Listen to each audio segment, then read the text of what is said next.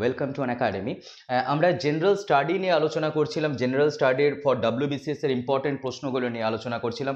তো আজকে সেটারই কন্টিনিউয়েশন চলছে। তো কালকেও আমরা আলোচনা করেছিলাম, তো আজকেও আমরা আলোচনা করছি ইম্পর্টেন্ট কোশ্চেন নিয়ে আলোচনা করছি। অ্যান্ড তোমরা একটু কমেন্টে রিপ্লাই করো যে শুনতে পাচ্ছ কি না তো দেখো অ্যান্ড এখন অবধি যারা আন একাডেমি প্লাসে সাবস্ক্রিপশন করনি, তো তোমরা সাবস্ক্রিপশন করে নাও। রেফারেল কোড হচ্ছে সোমনাথ লাইভ যাতে হচ্ছে টেন পার্সেন্ট ডিসকাউন্ট পাবে। তো চলো আমরা স্টার্ট করছি। দেখো, প্রথম প্রশ্নটা কি বলেছে? Which of the following years Bombay transfer to the East India Company by Charles to East India Company কবে বোম্বে পেল, তাই না? Sixteen sixty two sixteen sixty four sixteen sixty six or sixteen sixty eight be first আগে তোমরা কোশ্চেনে উত্তর দাও দেন আমি এগোচ্ছি। দেখো, এখানে যে প্রশ্নটা দিয়েছে যে বোম্বে কবে ট্রান্সফার হলো, তাই না? যদি বলতে হয় এই প্রশ্ন সঠিক উত্তর কি তোমরা সবাই জানো যে সিক্সটিন সিক্সটি এইটে তাই না? সিক্সটিন সিক্সটি এইটে twenty first September sixteen sixty এইটে হচ্ছে যে, এবার, এবারে এখান থেকে দাঁড়িয়ে একটা ইম্পর্টেন্ট প্রশ্ন কিন্তু আসতে পারে।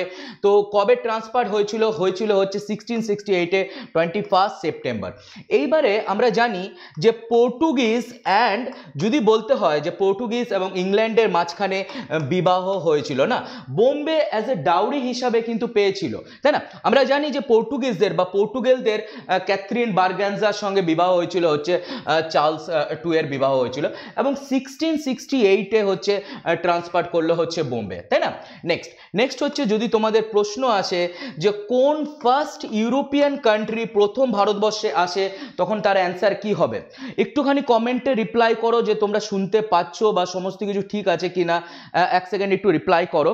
দেখো ফার্স্ট ইউরোপিয়ান কান্ট্রি এসছিল হচ্ছে বাণিজ্য করতে এসছিল হচ্ছে, পর্তুগিজরা বাণিজ্য করতে এসছিল, তাই না? এবং পর্তুগিজ বললেই মাথায় কার নাম আসবে? Vasco da Gama. এবং ভাস্কোদা গামা আসছে হচ্ছে ফোরটিন নাইনটি এইটে ভাস্কোদা গামা এসছিল। তোমরা সবাই জানো যে ভাস্কোদা গামা বিজনেস করতে তিনবার এসেছিলেন, তাই না?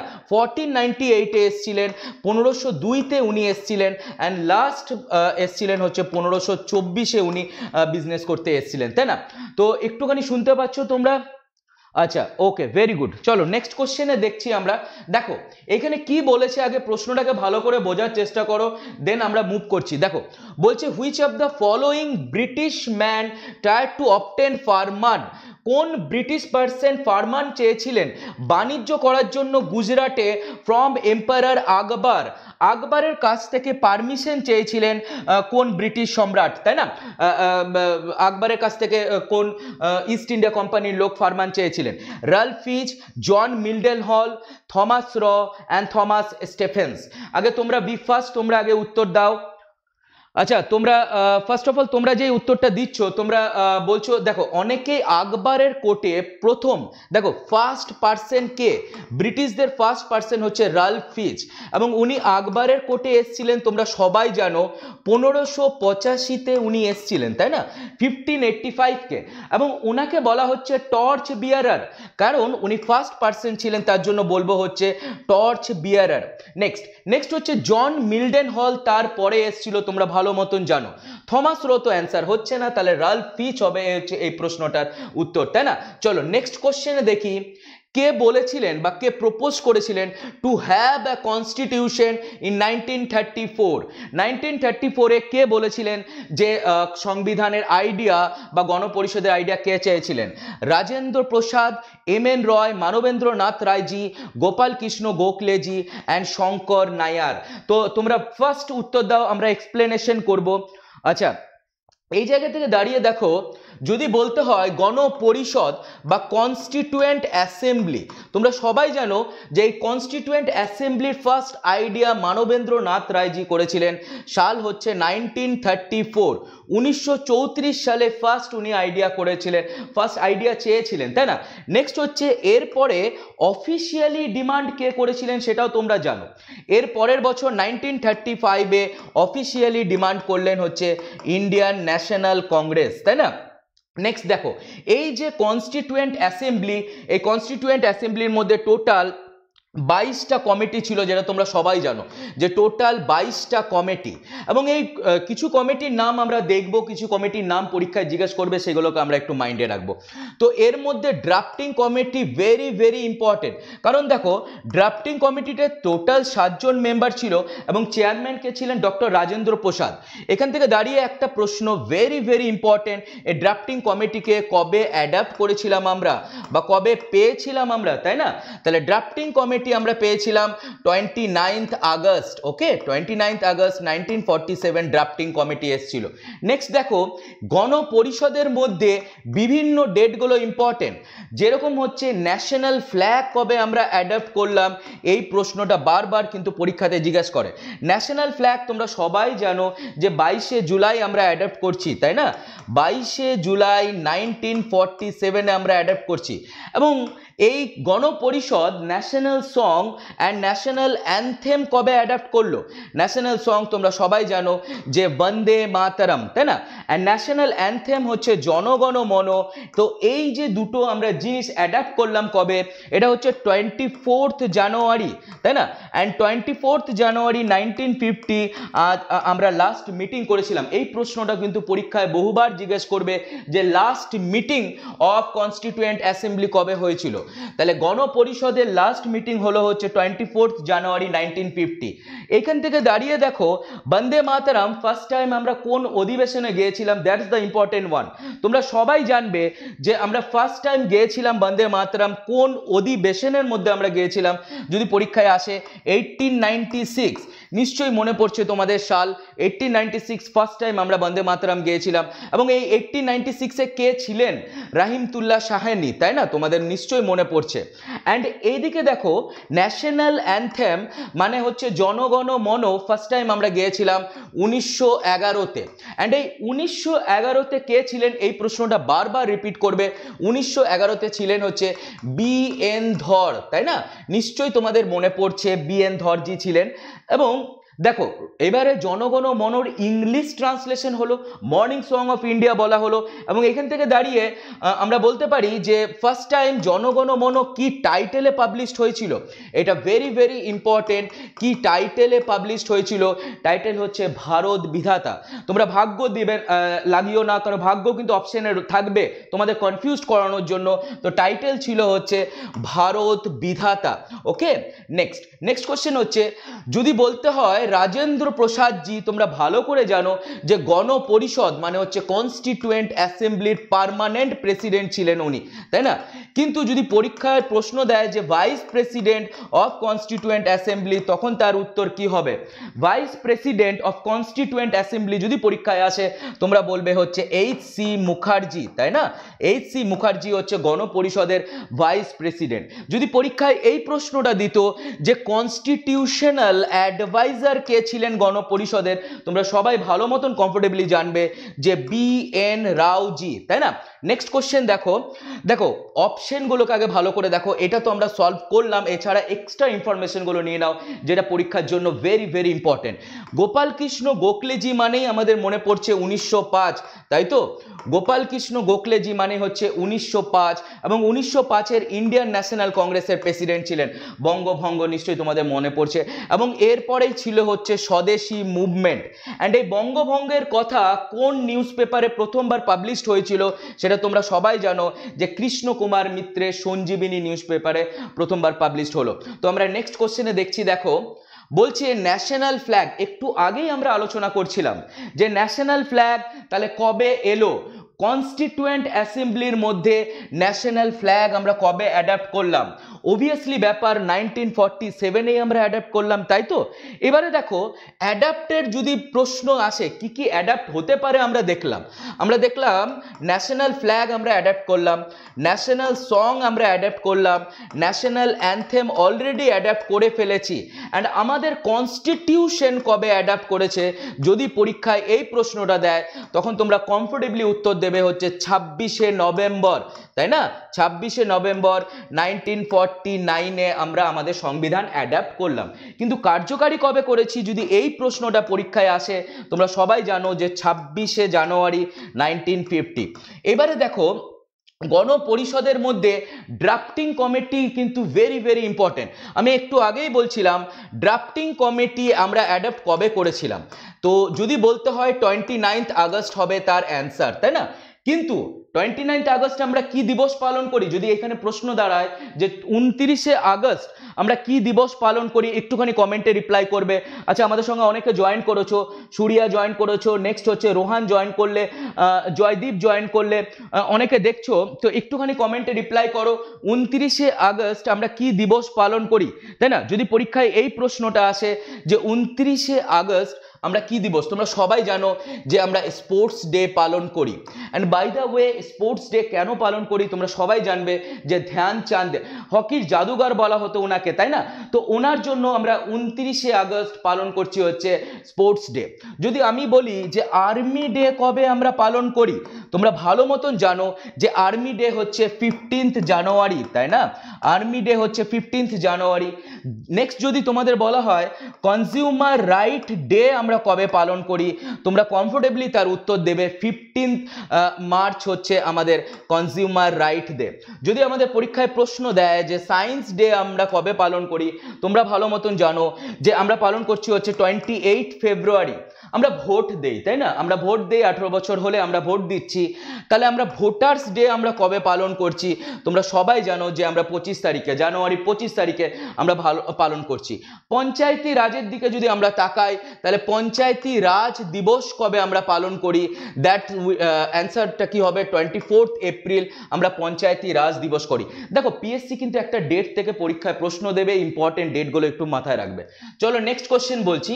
সংকোষ নদী কাদের মাঝখানে বাউন্ডারি করবে?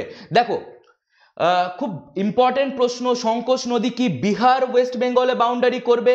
আসাম, অরুণাচল প্রদেশের মধ্যে বাউন্ডারি করছে, আসাম অ্যান্ড ওয়েস্ট বেঙ্গলের মধ্যে বাউন্ডারি করছে এবং বিহার অ্যান্ড ঝাড়খণ্ডের মাঝখানে বাউন্ডারি করছে। এক সেকেন্ড একটু বি ফার্স্ট একটুখানি। আচ্ছা তুমি আসাম থেকে, বাহ ভেরি গুড কোথায় বাউন্ডারি করছে? যদি বলতে হয় যে সংকোষ নদী কাদের মাঝখানে বাউন্ডারি করবে?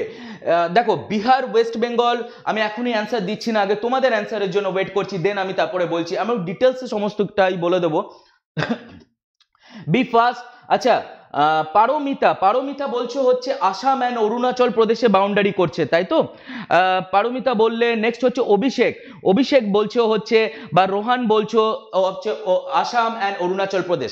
Okay very good fine এবারে আমরা একটা প্রশ্ন করি। এই সংকোষ নদী কার ট্রিবিউটারি বা কোন নদীর সঙ্গে জয়েন করেছে?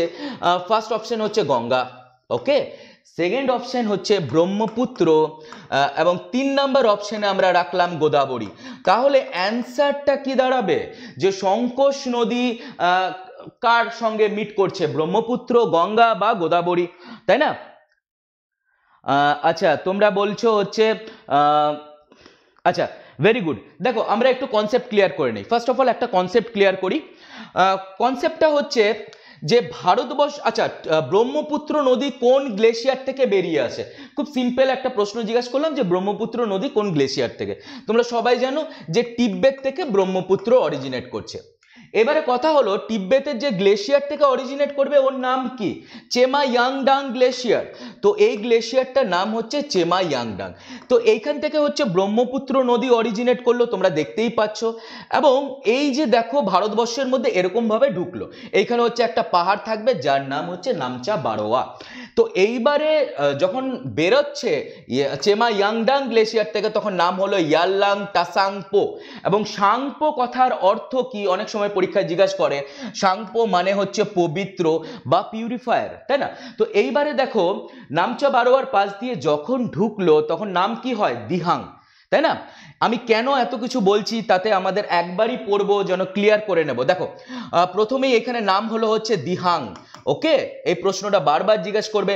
এবং এই যে আসামের সাদিয়া সাদিয়াতে যখন ঢুকছে, তখন নাম পেল হচ্ছে ব্রহ্মপুত্র নদী। নেক্সট নেক্সট হচ্ছে কিছু ট্রিবিউটারির নাম বলি। প্রথমেই দিবাং। তাই না? নেক্সট হচ্ছে লোহিত এবং এইখান থেকে সুবানসারি আসবে। নেক্সট হচ্ছে এখান থেকে কোপলি নদী আসবে, তাই না? অ্যান্ড এদিকে হচ্ছে ঢানসারি নদী আসবে অ্যান্ড এখান থেকে হচ্ছে আমরা মানস পাবো এবং তিস্তা পাবো এবং মাঝখানে আমাদের যে প্রশ্ন দিয়েছে, সংকোষ নদী, আমরা সংকোষ নদীও পাবো। তাহলে এইখান থেকে দাঁড়িয়ে সঠিক উত্তর হচ্ছে আসাম অ্যান্ড অরুণাচল প্রদেশের মধ্যেই হচ্ছে। কিন্তু কার ট্রিবিউটারি যদি বলতে হয় তাহলে হচ্ছে ব্রহ্মপুত্র। ফাইন নেক্সট কোশ্চেনে আমরা একটু যাচ্ছি। নেক্সট কোশ্চেনটা দেখি। নেক্সট কোশ্চেন বলছে which of the following region in India represent the lowest altitude altitude মানে হাইট তাহলে ভারতবর্ষের কোন জায়গাটা সব থেকে লো অল্টিটিউডে বলব আমরা? দ্যাট ইজ দ্য কুট্টা নদ নেক্সট হচ্ছে সৌরাষ্ট্র রিজেন নেক্সট হচ্ছে করমণ্ডল রিজেন নেক্সট হচ্ছে Malabar region of the Kerala তাই না? ভেরি ইম্পর্টেন্ট প্রশ্ন, তোমরা অনেকেই উত্তর দিচ্ছ। তোমাদের কি মনে হচ্ছে? তোমরা বলছো হচ্ছে কুট্টানদ, আসাম অ্যান্ড অরুণাচল প্রদেশ এবং বলছো হচ্ছে কুট্টানদ। আচ্ছা ভেরি গুড দেখো। অ্যাকচুয়ালি লো অল্টিচুড বললে হচ্ছে এই জায়গাটা। এটার নাম কি? তোমরা ভালো মতন জানো যে এই জায়গাটা হচ্ছে কুট্টানদ। এবং কুট্টানদ কোথায় আছে তোমরা জানো যে কেরালাতে রয়েছে হচ্ছে কুট্টানদ, তাই না? কেরালাতে রয়েছে হচ্ছে কুট্টানদ। এবং এখান থেকে দাঁড়িয়ে একটা প্রশ্ন তোমরা জানো, কেরালা মানে হচ্ছে লেগুনকে কি বলব আমরা? লেগুনকে খয়াল বলব, K H A Y A এল, তাই না? কেরালা মানে লিটারেসি সব থেকে হায়েস্ট থাকবে। তাই তো কেরালা মানে লিটারেসি সব থেকে হায়েস্ট থাকবে। কেরালা কোন উপকূলে রয়েছে? যদি এই প্রশ্নটা আসে, তখন তার অ্যান্সার হবে হচ্ছে মালাবার উপকূল, তাই না? নেক্সট নেক্সট হচ্ছে লিটারেসি রেট কত ইন্ডিয়ার? যদি এই প্রশ্নটা দেয়, তখন তোমরা অ্যান্সার কি দেবে? Seventy four point zero four percentage হচ্ছে ভারতের লিটারেসি রেট এবং এইখান থেকে দাঁড়িয়ে মেল লিটারেসি কত? তোমরা ভালো মতন জানো যে মেল হচ্ছে আমাদের eighty two percent and female literacy হচ্ছে sixty five percent by the way আমরা যখন লিটারেসি নিয়ে আলোচনা করছি লিটারেসি ডে আমরা কবে পালন করি? তাই না? ইম্পর্টেন্ট প্রশ্ন লিটারেসি ডে আমরা কবে পালন করছি? তোমরা জানো ভালো মতন লিটারেসি ডে হচ্ছে আমাদের এইট সেপ্টেম্বর তাই না? পরীক্ষাতে কিন্তু জিজ্ঞেস করবে লিটারেসি ডে কবে? এইট সেপ্টেম্বর ওকে চলো নেক্সট কোশ্চেনে যাই।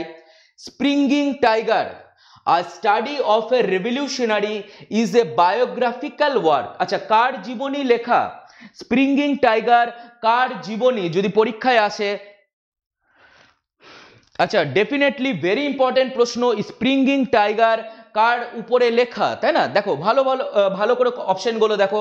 ভগৎ সিং, চন্দ্রশেখর আজাদ সুভাষচন্দ্র বোসজি নেক্সট হচ্ছে শ্যামাজি কৃষ্ণ বর্মা। তো স্প্রিঙ্গিং তোমরা অনেকেই উত্তর দিচ্ছ, সঠিক উত্তর দিচ্ছ তোমরা। তোমরা বলছো হচ্ছে সি মানে হচ্ছে Subhash Chandra Bose ji. Definitely biographical work মানে কি? মানে হচ্ছে অটোবায়োগ্রাফি মানে নিজের নিজের জীবনী নিজে লেখা, তোমরা ভালো মতন জানো। বায়োগ্রাফি মানে হচ্ছে কারোর জীবনী অন্য কেউ লিখছে তো এইখানে উত্তর হচ্ছে সুভাষচন্দ্র বোসজি তাই না? এখান থেকে দাঁড়িয়ে ইম্পর্টেন্ট পয়েন্টগুলো কি যেগুলো পরীক্ষায় জিজ্ঞেস করতে পারে সেগুলোকে নিয়ে আমরা আলোচনা করি। সুভাষচন্দ্র বোসজি মানে হচ্ছে হরিপুরা সেশন তাই না? সুভাষচন্দ্র বোসজি মানে হচ্ছে Haripura session nineteen thirty eight and nineteen thirty eight মানে হচ্ছে national planning committee and national planning কমিটির চেয়ারম্যান কে ছিলেন যদি এই প্রশ্নটা পরীক্ষায় দেয়, তোমরা বলবে জওয়াহরলাল নেহরুজি, তাই না? নেক্সট উনি ত্রিপুরি সেশনেও ছিলেন। উনি নাইনটিন থার্টি নাইন যখন ত্রিপুরি সেশন হচ্ছে, উনি তখন ইন্ডিয়ান ন্যাশনাল কংগ্রেসে ছিলেন। কিন্তু আনফর্চুনেটলি আমরা লাস্টে পেলাম হচ্ছে ডক্টর রাজেন্দ্র প্রসাদজিকে নেক্সট নেক্সট হচ্ছে, তারপরেই উনি ফরওয়ার্ড ব্লক তৈরি করলেন, তোমরা ভালো মতন জানো নাইনটিন থার্টি নাইনে নেক্সট এখান থেকে দাঁড়িয়ে যদি ভগৎ সিং, দেখো, তোমরা ভালো মতন জানো যে আই এম আথিস্ট এই কথাটা কে বলেছিলেন? ভগৎ সিং বলছেন, তাই না? চন্দ্রশেখর আজাদ মানে হচ্ছে আমরা বলব কাকুরি ট্রেন লুন্টন নাইনটিন টোয়েন্টি ফাইভে ওকে চলো নেক্সট কোশ্চেন দেখো। বেনারস হিন্দু ইউনিভার্সিটি কে নির্মাণ করেছিলেন, তাই না? আচ্ছা তোমরা যারা দেখছ বি ফার্স্ট তাহলে আমরা তাড়াতাড়ি প্রশ্ন, অনেকগুলো প্রশ্ন সলভ করতে পারি। খুব অল্প টাইমে অনেকগুলো প্রশ্ন কিন্তু আমরা সলভ করতে পারি। বেনারস বিএইচ ইউ তোমরা অনেকেই সঠিক উত্তর দিচ্ছ। বেনারস হিন্দু ইউনিভার্সিটি কে স্ট্যাবলিশ করেছিলেন? Vivekananda ji Annie Besant Pandit Madan Mohan Malaviya and Jawaharlal Nehru ji তো তোমাদের অ্যান্সারের জন্য আমি ওয়েট করছি। তোমরা অনেকেই বলছো যে ডেফিনেটলি অ্যান্সার এ বলছো। বিবেকানন্দজি কোনো মতেই হচ্ছেন না। অ্যানি বেসেন্ট আচ্ছা আমি বলছি আগে তোমাদের অ্যান্সারটা আগে দেখে নিচ্ছি দেন তারপর আমি বলছি। আচ্ছা নাও, তোমরা সবাই সঠিক উত্তর দিয়েছ। তো এবারে দাঁড়িয়ে একটুখানি দেখো। বেনারস হিন্দু ইউনিভার্সিটি বলা হয়েছে এবং এইখানে দাঁড়িয়ে প্রশ্নর উত্তর হচ্ছে পণ্ডিত মদন মোহন মালাব্যজি। কিন্তু আমি এখানে বেনারস কথাটা সরিয়ে দিলাম দেন আমি এখানে সেন্ট্রাল হিন্দু ইউনিভার্সিটি লিখলাম। তাহলে তার অ্যান্সার কি দাঁড়াবে? সেন্ট্রাল হিন্দু ইউনিভার্সিটি করেছিলেন অ্যানি ব্যাসেন মনে পড়ছে? আশা করি নিশ্চয়ই তোমাদের মনে পড়ছে। Annie Besant central Hindu university করলেন অ্যান্ড এটাই পরে নাম চেঞ্জ হয়ে বেনারস হিন্দু ইউনিভার্সিটি হলো। ওকে নেক্সট নেক্সট হচ্ছে অ্যানি ব্যাসেন বললে তোমরা সবাই জানো যে নাইনটিন সেভেন্টিন ইন্ডিয়ান ন্যাশনাল কংগ্রেসে ফার্স্ট ফিমেল ক্যান্ডিডেট তোমরা ভালো মতন জানো। অ্যান্ড অ্যানি বেসেন্ট বললে নিউজ পেপারের নাম কি মনে আসে? কমনওয়েলথ তাই না? নিশ্চয়ই মনে আসছে তোমাদের। নেক্সট দেখো, এখান থেকে দাঁড়িয়ে পরীক্ষায় আরও কিছু ট্রিকি প্রশ্ন দেয়, যেরকম হচ্ছে লোকনায়ক তাই না? লোকনায়ক আমরা কাকে বলব? তোমরা ভালো মতন জানো লোকমান্য মানে যদি পরীক্ষায় আসে লোকমান্য মানে হচ্ছে বাল গঙ্গাধর তিলকজি লোকনায়ক মানে হচ্ছে জয় প্রকাশ নারায়ণ। অ্যান্ড লোক হাতিবাদ মানে হচ্ছে গোপাল হারি দেশমুখজি তাই না? সিমিলারলি বঙ্গবন্ধু মানে হচ্ছে শেখ মুজিবুর রহমান তোমরা ভালো মতন জানো। এবারে যদি প্রশ্ন দেয় যে দীনবন্ধু, তাই না? তাহলে সি আর দাস, তো এরকম ধরনের কিছু টার্ম তোমরা মাথায় রাখবে পরীক্ষার আগে। Father of green revolution B first father of green revolution কাকে বলা হয়? তাই না? যদি পরীক্ষায় এই প্রশ্নটা দেয় যে গ্রিন রেভলিউশনের জনক কি? রেভলিউশন মানে কি? চেঞ্জ হচ্ছে, বিপ্লব আসছে, তাই না? তাহলে গ্রিন রেভলিউশনের জনক, দেখো এখানে ইন্ডিয়া বলে দেয়নি, তো আমরা নেব হচ্ছে নরম্যান বোল্যাং তাই না? তোমরা ভালো মতন জানো যে কবে হয়েছিল? নাইনটিন সিক্সটি ফাইভ সিক্সটি সিক্সে হচ্ছে গ্রিন রেভলিউশন অ্যান্ড এখান থেকে দাঁড়িয়ে একটা পয়েন্ট আমি তোমাদেরকে বলছি যে প্ল্যান হলিডে কবে এসছিল? মনে পড়ছে তোমাদের নিশ্চয়ই প্ল্যান হলিডে এসছিল হচ্ছে সিক্সটি সিক্স থেকে সিক্সটি নাইনে হচ্ছে প্ল্যান হলিডে যেখানে আমরা তিন বছরের একটা প্ল্যান নিয়েছিলাম, তাই না? নেক্সট হচ্ছে রোলিং প্ল্যান যদি বলা হয় কারণ রোলিং প্ল্যান হচ্ছে জেপি গভর্নমেন্টের সময় নেওয়া হয়েছিল। মোরারজি দেশাই ছিলেন এবং এখানে সেভেন্টি এইট থেকে এইটটি আমরা plan চালিয়েছিলাম। By the way excuse me rolling প্ল্যানের কনসেপ্ট কে দিয়েছিলেন যদি এই পরীক্ষায় এই প্রশ্নটা দেয়, তোমরা ভালো মতন জানো যে গুন্নার মিড্রেল দিয়েছিলেন হচ্ছে রোলিং প্ল্যানের কনসেপ্ট তাই না?